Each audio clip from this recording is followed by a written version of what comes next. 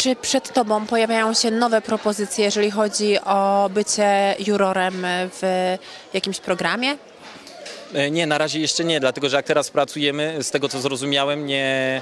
Zresztą nie miałem żadnych kontaktów, byliśmy dużo w studiu.